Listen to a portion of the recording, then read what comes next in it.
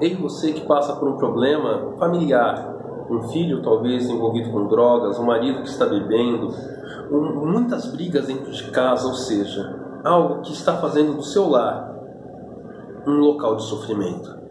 Você vai mentalizar o problema que está lhe causando dor dentro da sua casa e na sequência vai repetir nove vezes: Maria passa na frente, pedindo que Nossa Senhora passe na frente do seu problema. E na sequência, nove Ave Marias, reafirmando seus pedidos.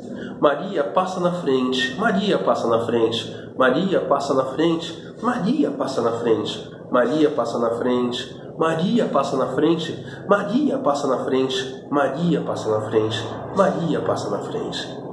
Na sequência, nove Ave Marias, na certeza de que Nossa Senhora se colocará à frente da sua adversidade familiar e a harmonia voltará a reinar em sua casa. Boa sorte!